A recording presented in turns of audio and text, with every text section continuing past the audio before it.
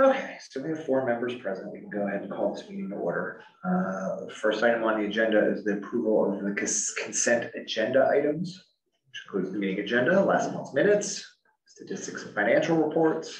And that includes Marches as well as April's, because if you'll remember, um, Allison was out and we couldn't get you the financials for March at the April meeting, so you have both. Okay. So everybody can take a moment to look through these if they need to, and if no one does, I will accept the motion to approve. I'll motion. There's a Second. motion, there's a second. Everybody put your hand up before saying yes. Yes. Okay. Uh, comments from observers, it does not appear we have any observers present, I assume there are none online, Robin? No, there's no one online and I've received no emails addressed to the board, et cetera.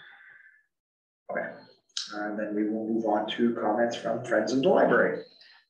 Well, the Friends of the Library doing well. We had our plant sale over the weekend and I can't give you dollar figures, but I can tell you it was a success. If you measure things that don't necessarily equate to money, or even if you do, we made money, but we had such a good turnout. It was pouring down rain. People were putting up tents in the rain and then people came and bought plants in the rain. And um, I just, it, it was, it was, to me, it was a good day. And if you watched people who were there, they were so enthusiastic about being able to be there. Um, it- I think it just went off really well. Uh, That's the plan, sale. We are, um, I sent out an, uh, sort of an email to, um, all of the friends asking, letting them know that one of our board members is retiring and that we're looking for a board member, and I've had three responses.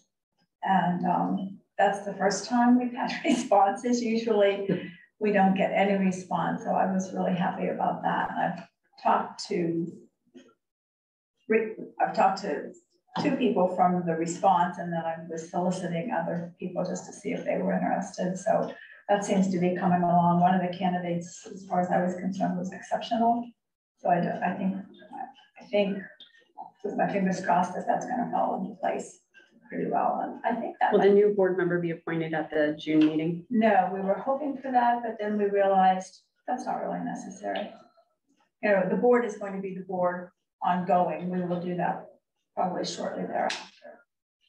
Hmm, it was, it was a thought, maybe even a serious thought, but then, um, we've had, like I said, we've had a couple of different people who show an interest, and I think, um, if it works out that we do, we do. If not, um, Eileen and I were talking the other day. Eileen's the one who's retiring and she was, um, she the board's the board no matter what.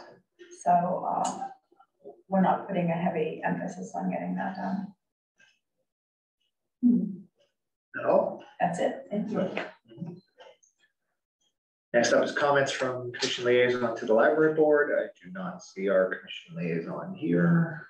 It is election day and she is up for her board seat, to Okay. which she was appointed last October. So, um, they've been working on a Brick Streets policy, which I think she talked about last month as well. And, um, the municipality is gearing up for summer events. It's going to be interesting having First Friday events uptown and that sort of thing, but they're going to do their best to make it work, so, um, I can't think of anything major going on that's interesting to the library board. Well, the historical uh, district signs were up, or did she cover that last time? She may have, they, they might have been done by that time, yeah, it was, um, yeah, they're, they're a green topper on all of the, um, Well, all, signs, of street signs in the historic district, which is a big chunk of all of it. They didn't have enough for every street. I saw something on the municipal website. So, anyway, Okay, we can move on to the Mhm. president's report, which is also my report. Um, my big thing is I was able to go to the Mount Lebanon Comprehensive Plan meeting about two and a half weeks ago and represent the library board at that meeting. Uh, where, where they're currently at in that process is they sent out another survey. It's not sort of like the wide ranging feedback they collected at the beginning, but a more targeted survey as they accrue and compile information to put towards the comprehensive plan. There were, at the time of that meeting, they had 1,300 responses back already from Mount Lebanon residents. If anyone here hasn't taken the survey, survey and wants to, it might still be online at their website, but I'm not sure. But at the time of that meeting, they had 1,300 in. Uh, some things I thought you guys would be interested in.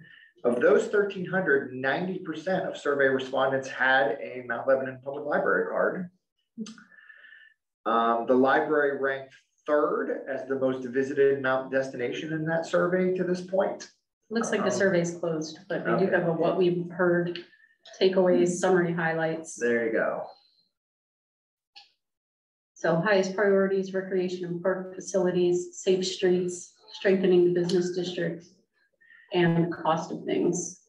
There was on the, on the, yeah, on the, so we were the third most visited destination in the survey. You're gonna ask me what one and two were, and unless Robin can find it, I don't think I quite remember. I think just Uptown was like number one, just general Uptown businesses. Yeah. And the rec center was mm. up there. It might have been number two. Anyway, if, Robin, tell everyone what the URL for this is in case anyone. Sorry, it's ascendlebo.com, Okay. A S C E N D L E B O dot com. So um, they presented us, I think they did two separate meetings. They split up the group. Pretty much all the boards had a representative there. My meeting, I think there were, there were two people from the group that's putting together the, the comprehensive plan and then about six people representing different facets of Mount Lebanon. And they went over the survey and then we talked about, there's a big push to have more uptown events and more dynamic uptown events. Once all the construction's done, that got a lot of talk. Um, there was some talk about the south parking garage, which I didn't know. I guess this, this may or may not actually be included as part of the plan, but that, that the south parking garage uptown has a very limited lifespan left. It's, in a couple years, it is no longer gonna need code and they're gonna have to decide what to do it with it. And from my understanding, they don't think they need that entire property down that's built into the hill for parking anymore. And they could potentially redo the whole thing and turn it to whatever they want to turn it into, possibly have parking, have something else. I don't, I don't know, but that's something that's gonna be talked about. And yeah, there was a lot of talk about sidewalks and paths and public transit. All that stuff should continue to be updated on the website. Um, personally, I, I, think I'll be going to one more of these meetings. Does this sound right, Robin? You might, you may or may not. Yeah, know. there were only, there were only Yeah. gonna be a handful of Yeah, I them for think your there's focus be, groups. yeah, one more group of meeting where they kind of do, yeah, small focus groups with various representatives in Mount Lebanon. So hopefully that works out and I can hit up one more. Um, the only other th- thing I was gonna add to the president's report, and she's not here, but I was just gonna thank Holiday for coming and helping us set up for the plan sale on Saturday. So say it for the video recording, so it's on the record. And that is all I had. On to you, Robin. Okay, um, I will also try to keep it brief. Um, as I'm sure you noticed, the lockers that were scheduled to be put in today were not put in today because we received an email yesterday from the company saying that they don't actually have a unit for us. Although we paid for it. So we figured they oversold. They, they had, they had a bunch of them left over from the COVID days when everybody was doing remote pickups from Amazon and things like that, um, from different grocery stores and things. So we think they had a glut left over and oversold what they have. So we're waiting on the unit. Everything else is in place. It is ready to go. The, um, electricity and the, um, the internet cable, whatever the fancy word for that is, is, is Ethernet, yeah. yeah, has been um routed there. The site is ready. Public Works is ready to to assist. So as soon as it does come in, it will be installed. We just have no idea when that will be, but I'll keep you posted. Um, it was pretty disappointing because we were really excited and looking forward to it. So June is gonna be a busy month at the library as always. We're going to have our raffle baskets in conjunction with the, um, that we always have in conjunction with the garden tour. And um, Marina said she could use a couple more gift cards. She wanted to thank Holiday for not only donating money, but also donating a gift card. So um, again, she's not here to, to do that, but um, if, if any of you can get gift cards from a local business, um, have them donated, that would be great. Do we know what we already have so that? Marina will know. I don't, Okay. I don't know the details. She knows everything. I'll ask Brian. Yeah. Um, summer reading starts June twelfth. Please sign up. Please register, even if you've never set foot in the library. After that, just register so we can say all board members are registered for summer reading. And if you can help with signups, that first day from eleven to five, it's a great way to um, meet people, meet the patrons. I have new name tags for all board members. They don't have your actual names on, it just says board member. So you can wear um, let's see. We, the library will be attending a lot of summer events with our book, bike and cart that the Friends graciously provided for us last year. So um, anytime you see the book, bike and cart anywhere, please come up, say hi to the staff. It's gonna be me a lot of the time, but not always. Uh, let's see. Um, and also on June twelfth, the new library catalog will launch. So I can show you the public um, pilot. If you go to the library's webpage, click on catalog. This is our current catalog. But you can check, if you click on that, you'll check out the new catalog. So it's um, one of the big different things about this is there are a bunch of book lists that the library staff from all over the county can include. And the books, that's a really good book. I love that book. Um, the books actually are rated and ranked like on Amazon and you can read reviews of people from all over the country. Basically any library system that has this catalog, um, it allows people to, to add reviews. So you can add your own review. Is this CLP or INAC that's running this? It's, it's the EI network. Yeah, Yeah, it's, we're just replacing our old catalog, so it's all the libraries in the county. Um, this library of things are just the things that are non-traditional library items. So like, um, the Homestead Library rents out tables. So if you're having a, you know, backyard wedding and you need tables and you wanna pay for them, you can check them out at the library. Our library has these experience kits. So if you want to go to, you know, the, um, one of the local mattress factory, you can check it out. So there, there are lots of things to discover, but basically they just want everybody to play around with the catalog. And if you have any comments about problems you have or anything like that, let me know. Um, and other than that, you'll have seen my written my written report, which is included in the consent agenda, or included in your packet rather, and just all of the things that, that are going on. Our big event in April was, of course, Colson Whitehead, which if you were able to attend, was a full house and incredibly well received. We met with some of the high school kids beforehand, and it was just a, a really good time. That's all I have. Okay, thank you, Robin. We will move to the committee reports. Fundraising is up first. Now, I know Anthony sent out this email. Did everyone see his email and the note? Do you want to read it? I can read it. Does not have it. I pulled it up, I will read it. Anthony writes, the volunteer list for the garden tour remains at about half of what is needed. At this point, every slot that is filled includes two people, and I don't want to cut that to one in order to ensure that every time slot is filled. Um, I think what he means is they have enough to put one person for each time slot, but ideally they'd wanna have two. A lot of the people like to volunteer together too, because they then go around together to the.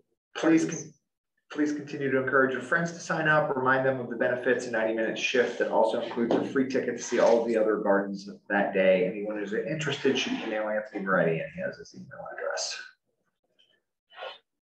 So that was Anthony's note. Monica, do you know if there are any other dates past that? Um, Committee? no, we did not meet. Okay, Um, I have these from Marina. okay. Um, Yeah, it's just, um, a request to be a donor, patron, benefactor. We've been receiving a lot of, at least I've been signing a lot of benefactor letters, um, people that have contributed at the two hundred and fifty dollar level, which is really nice. Because we're not getting as many program ads as we used to, so having the additional donations is nice. So if you're, if you're able, we, we really appreciate it when the board contributes. Okay, any, uh, one thing I did want to ask is, so we are doing a Board of Trustees basket for the garden tour, correct? Yes. And who's in charge of putting that together this year? I don't recall. Okay, I'll ask, we'll figure that. With the, the board basket. Yeah. All right, Have you guys started on that, or? um, is that also Marina? No, that's not the, I mean, if, I, I, I don't remember where the board left. The basket. I know we talked about everyone contributing something. I know it was garden themed. And I know we talked about everybody contributing something, either a gift card or an item, and I, my wife and I are definitely gonna contribute something to that basket. I just wasn't sure who to coordinate it with. I thought that she was coordinating. Okay, so from the April meeting, I have a note, please ask the board members to donate items to create our garden lovers raffle basket. I have several books and a basket prepared, Okay, but we'll need gardening tools, seeds, gift cards to garden centers, et cetera. and that's Marina? Yes, Okay, I'll just email her and ask her what she still needs. And if anybody wants to donate that basket, I would say, email Marina, ask her specifically what she needs or wants to make it look yeah, great. and I think that's probably when she asked me to ask you for gift cards and things, that's probably what she meant. Yeah, So like Okay. Rollers or, you know, okay. Jenkins, whatever. Um, Is that it for fundraising? I'm Assuming, Yes. okay. Governance committee, oh, you, Mary. Okay, so just, um, I have printouts of everything you're gonna talk about, so I'll give those to you, Mary. Okay. And then, Which looks like this is also under new business now, correct? yeah, so you might just wanna summarize right now and then jump to. Okay, to so the The governance committee met at the beginning of this month. I apologize, I don't remember the exact day. Um, but it was, thank you, May third. Uh, Kristen and Bob, myself and Robin, and we went over, um, very quickly, just to recap for Kristen, who is new to our committee, the three, um, meeting, or three policies we had already, uh, set ready for a vote to, our to pass out tonight so that you all could vote on it in July. And then we still continue to work on the unattended child policy. Uh, we have one more in the work, which is the patron behavior policy, but until we got the unattended children's policy down, we can't exactly move forward on that one. Um, so for your. Trying to do um, this alphabetically. Yeah, thank you. Okay. So for you all to take with you this evening, we have uh, copies of the existing policy, the red line items that were changed, and then the, what we want the policy to actually become. Yeah. Um, so I guess we'll get those to the people who are not here tonight to look at. So- Everything, I added everything to Govenda. If you go to the left, there's this documents, which we rarely ever use. But I added a folder called proposed policy updates. So all of them are in there. Um, the original policies are on our website. If you scroll all the way to the bottom, you can see library policies and there's a list. So I didn't print all of these out again, but if you want to see the current meeting room policy, it's available right there. And Yeah. Uh, the meeting room policy here, I, we have two versions. We've got the red line version, which is the changes we've made from the, the current. And then we have the clean version, because it's so many pages long, this is just what the final should look like. The others are one page, so all I, we just printed out the red line version, but you can easily see, you know, on hours of, op- if you look at the hours of opening policy, what has changed. So, so public, so public notice, hours of opening, unattended children, these are, I mean, okay, I see. These are basically the final version showing you what's new and showing what's been deleted. yes. Yes, And the meeting room policy, what's the difference with this one? No it's, it's just so long that it's Oh, impossible to do a red line version and really understand what you're reading, So so. those are all for you. Should I pass these over? Yeah, we can. Go ahead. Yeah, And Susan, if you want one, we have, I have plenty, but I. Susan, you want some or you? A little light reading for tonight. We don't have to make any decisions tonight. Um, we are proposing these to vote on in July. July, because we don't meet in June. Does everybody have one? Yeah, we do. So basically, Monica, you're the only one here that's not on the governance committee.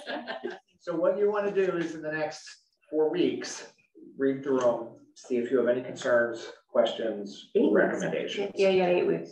Eight We weeks. we don't meet Eight in June. weeks. You have eight weeks. Um, these have already been pretty thoroughly vetted by Robin's staff and the governance committee, but that doesn't mean, I mean, the full board, when we did this last year, had questions and concerns and we made further adjustments. Yeah, I will also be running these by legal counsel, especially the unattended child policy. So just to that make has sure not that happened yet still? It has not happened, Okay. but it will. so our, I think the one that was the most controversial of this group is the unattended child policy, simply because we were trying to figure out at what age do we feel comfortable um, with children being left on their own, plus also potentially being responsible for younger children. So, It's definitely the one we did the most work on. yes. Have there been issues? Well, with the elementary school and the middle school here, you know, said middle school child who might be in sixth grade, parents are assuming is going to be looking after said younger siblings. And that may or may not be happening. So we, we feel that it's a lot of a burden on the staff to have to try to corral.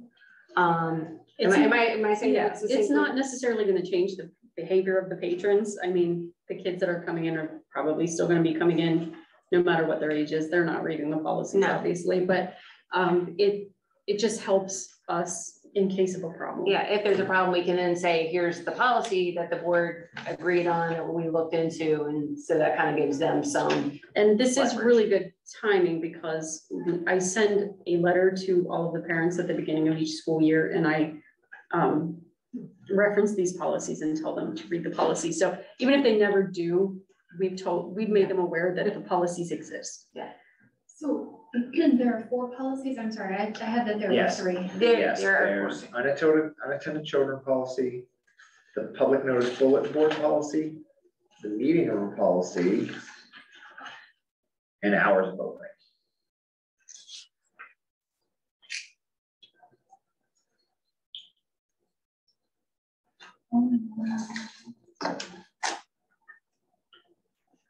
And we have one more that we're working on, but that won't be ready for anything probably till the fall. It's a tremendous amount of work for the governance committee to have done, so I really appreciate all of your help in this. Of course, Can, do we discuss this tonight or do we discuss? it next would be more next time, but we also hope to vote and approve next mm-hmm. time, so. I But would if, yeah, I mean, if we can't approve, if, if the discussion, you know, Needs more discussion. Yeah, then if we don't- determine it we needs more then we'll um go back to the drawing board and hopefully reintroduce in September to vote in November. Can, and I don't know, Robin, if this would be your job, my job, Mary's job, but can someone, can you maybe send out an email to the full board for the people who aren't here saying, hey, we're yes. doing this, please go to the, the website, Govenda, yeah. what's it called? Govenda, Yeah, please go to Govenda and download these forms to be prepared to speak about them. If that email could go out to the full board, I think it would be helpful. absolutely. My only suggestion, that, just quickly, Yeah. um, is what does the temporary care mean, like, you know, I mean. So I put, we put definitions up at the top. You Did, in sorry. No, that's okay. There it is, two hours or less, okay, thank you. Mhm. There's, Thank you for giving me a question I could easily answer. again, it's, it's, uh, uh, it's unrealistic to assume that this would be strictly enforced, but it does give Robin and her staff something to fall back on if there are problems. And we spent a lot of work just trying to identify age ranges, right? And who, who we, who we want to allow to have just unfettered, unsupervised access to the library from a child perspective. We talked to the rec center and um, their policy is basically ten and up. They're allowed to be there unsupervised. So ours are basically, I, I mean, you'll be able to read this, but in short, if you're at least in middle school, you're okay to be here. If you're in elementary school, you're okay to be here, but you need a sibling with you. If you're younger than elementary school, you cannot be here without someone who's at least sixteen years old. So we're talking a, an adult, a parent, a babysitter who's, you know, and that also 16. gives some protection to those kids who have lots of siblings who mom and dad think, oh, let's just send everybody to the library.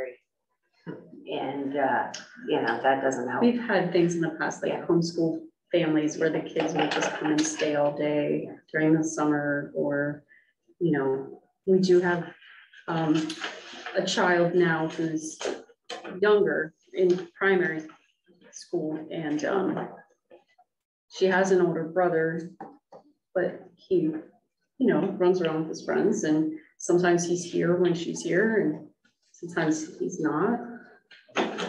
So it's a little concerning for us sometimes because we don't have time to be responsible for her care. Yeah, for like a logistic point of view, for like staff training, um, is there sort of like a quick reference for them, or I guess you probably train them? Yeah, we make them aware of where all the policies are. And then, you know, once these are officially adopted by the board, I will make sure to let them know about all of the changes and how it affects us. Okay, Like I said, it's not so much a matter of telling every young looking child that comes in the door, they need to be here with a parent, but just if something happens, yeah, gives your staff like guidelines for when to call CYS, when to. exactly, Yeah. exactly. Well, everybody's a mandated reporter anyway, and they you Yes. have to go through training for that. Every, every library employee for Allegheny County. Is that true of academic librarians as well, or just public librarians? Um, We, we- it wasn't a requirement in Ohio, so I wasn't sure. It's true for us because we are a state system, like we're, we're state employees. so- Right. So it is, but I don't think for like private schools. Gotcha. I, I didn't have to do it when I worked in the Pitt Library at the law school. I was not. So, yeah. yeah, it, and it kind of depends on the library, like Yeah. how open you're, like our, Yeah. because we're a state school, so our libraries has to be open to like taxpayers, so yeah, people can come in. Um, but yeah, if, if your library is closed, Yeah. like to just law students Yeah. or something. like Well, that. law school's like a, s- that would be like a special library almost, right? Yeah, prob, I mean, Pitt, both Pitt and University of Maryland were federal depository libraries. Mm-hmm. So theoretically, you're open to the public, but. you Don't get a lot of ten-year-olds running in there. No, no. Older people with not insignificant issues. But yeah, not a lot of, not a lot of. kids. That is another change we made to this unattended child policy. We just added um in the, near the end, that um vulnerable adults that are left without a caregiver that will that's stay after, closed. after the library is closed, we'll Yeah. stay with them the way we would um, A child. a, a minor, yeah, until someone can be responsible for them. So, so again, I think I'm just reiterating what Mary said, but the plan is to, for everyone to read through these. We're going to discuss them and vote on them at our next meeting in two months, and then we should have at least one more policy to go through later in the year. Yes. Nothing else from the government, correct? Yeah. Uh, old business, I see nothing here. Is that correct, Robin? New business, I believe that's what we just did. Is that correct? For Is there any other new business not on the agenda we need to introduce? Nothing I can think of. All right, we're flying along. We can go on to our advocacy moment. And we can start with Kristen. Again, I think you saw this done last time. Kristen, Feel free to talk about anything you watched, read, watched, read, listened to. Well, Well, I- we watched The Diplomat, which I highly recommend. It's on Netflix. I don't remember if I said that last time, but it was Keri Russell and it was really good. Oh, if you're repeating your advocacy thing, Yeah. we're gonna come down on you hard, so you Okay. gotta bring fresh stuff. Um, Don't listen to him, don't listen. I'm also trying to watch the worst television show ever made called The Outer Banks because my fourteen-year-old nieces watch it. And now I know how my parents must have felt when I watched nine oh two one oh. So it's like a teen drama. Oh my God. Teenagers running from the law for like seventeen straight hours. It's, it's a real ride and it gives me a lot of stress. Um, but I just read, um, romantic comedy. I think that's what was with Curtis Sittenfeld, who is a hit or miss for me, but this one was a hit. Um, some people didn't like that she goes into COVID times, but it wasn't, to me, it was just, it wasn't like the COVID trauma was just sort of emailing during COVID. Um, and I thought it was a delight. I also went to the book festival this weekend, which I felt really bad because the weather definitely, there's a large outdoor component to it.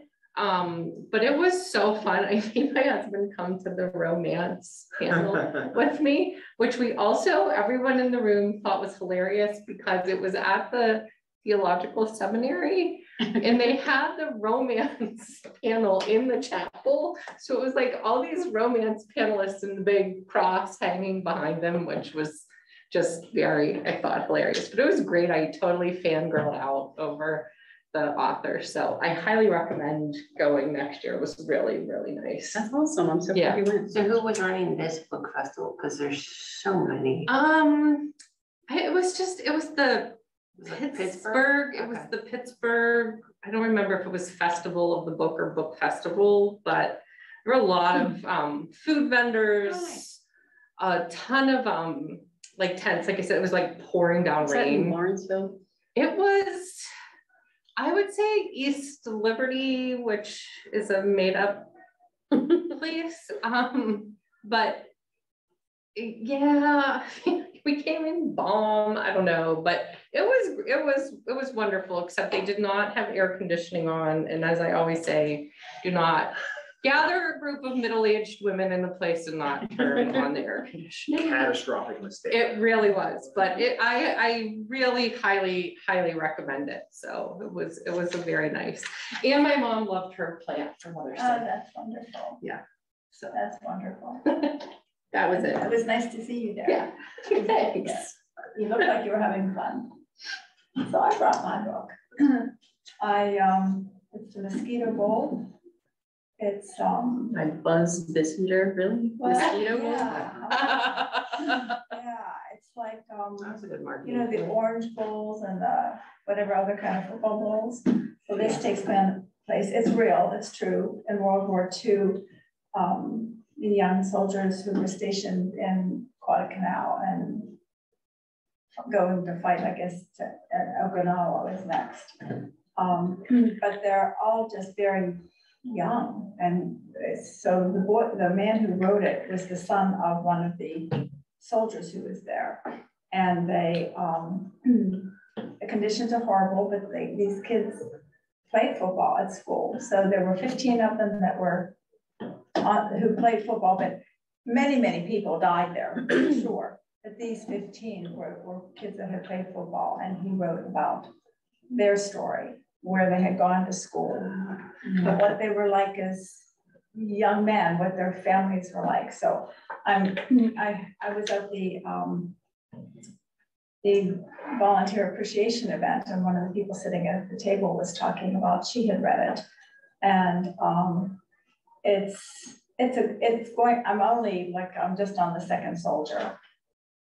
It's going to be a really good book, because he's, he's writing about his own dad from what he thought he knew and, and remembered, and then learning about all these other young men and their families and you know, the one kid who, they all play football, but the one kid's dad had been a football coach at school. It's just really an intimate look at them.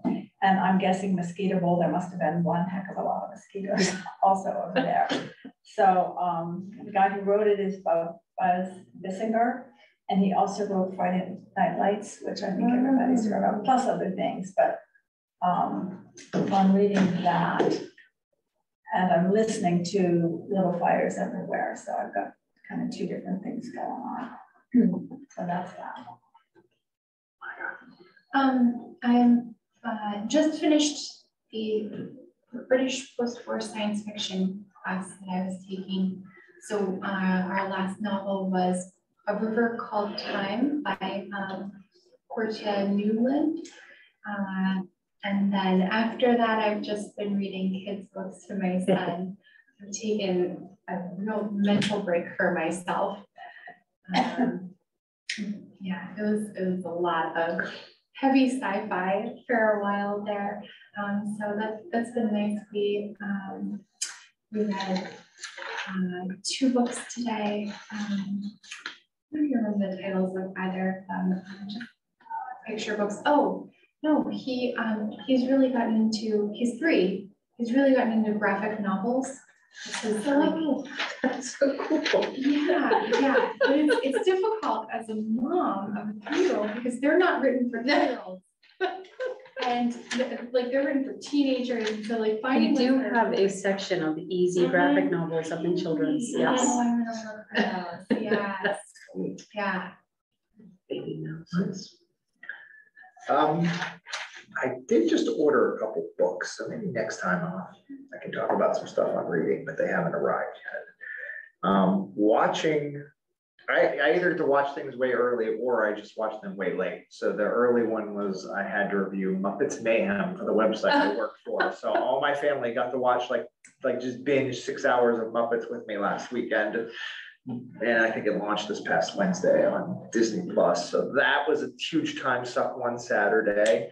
And then late, like I missed things. And it's like, all right, I'm not gonna worry about this. I'll do it whenever. So like a year after it came out, I finally started watching season three of Atlanta, Donald Glover's show, which is on FX and Hulu, which is fantastic. I should have taken me this long. The show ended after season four, so I have two seasons to wrap up, oh, two seasons to watch before I finished it. But now I'm kicking myself. I'm like three episodes in. It's like, why didn't I watch this when it, it first came on? Because it's amazing. And uh, other than that, this sounds like something you would do, Robin. But I'm like on a B action movie kick. Absolutely. Like I got, you know who Scott Adkins is? I got to interview Scott Adkins for work. He's like a B action kung fu star guy who's in the latest John Wick, which is like his biggest role, like is the, the most people have seen him. And I got to talk to him. So I had to watch like I watched three or four, I'd seen a couple, but I watched like three or four more of his movies to prepare for that interview. And it got me thinking about B action movie guys, and Frank Grillo is another one of those guys. I think most people know him. He's a villain in a couple of the Captain America movies, but he's like for people that like low budget action movies, he's like stars and all. And so I'm on a big Frank Grillo kick right now. I love, I love things like that, as you know. So mostly I've just been flipping through uh, travel guides because we go on our trip next week. And um, really still enjoying Will Trent. So someday I hope to read the books. I just, Someday. I've, I've started Will Trent too. It is real, I can't watch it before bed though, because it's a little scary What is it? Will Trent, it's um. Oh God, I can't think of who it is. Who wrote, it's a mystery series that's set in Atlanta and I can't think of, who- it's book based. Um, I can't think of the authors. But he's a um, he grew up in the foster system and he's sort of dating and got this on again, off again relationship with another former foster kid. He's um GBI, so he's Georgia Bureau of Investigation and she's an Atlanta cop. So um there's kind of like a longer term mystery and then you have like episodic, just, you know, this is what's going on and they solve a crime in this episode and then the next episode, something completely different. Also, he can't read. Yeah, he can't read, he's dyslexic. Wow. So he records everything, but it's made him, so his mentor, um, and I don't wanna spoil it, Yeah, but his mentor, uh, has been kind of, um, guiding him to become and overcome that dyslexia. So to become extremely observant and to train other people how to be that observant. So he's always talking into a, a cassette recorder and, and that way he's able to, um, you know, be a little more observant than just, oh, I just, you know, Yeah, here and assume. Because he'll, he'll come in and see something that nobody else has paid attention to. and like, oh, the bloody footprints going the wrong Yeah, way. Wrong way, or there's only the one, yeah. And there's two pairs of shoes at the Yeah. front door, and then somebody broke in through the front window, but it's way too high and the door handle's down here, so how did they get in, you know? Yeah, it's very clever. It is, I can't, I very can't, clever. Karin Slaughter, I Yeah, think is who it is. yeah, I'm author. almost positive that's who. I know it would have come to me. So anyway, I, I'm sorry that this season has ended, hoping it will pick up for another one. But that, that's it. Your turn. You're up. Okay, um, besides my usual, which I don't talk about, um, You might change that role too. You might have to talk about it. Kristen is starting to, you know, inspire me to just own it.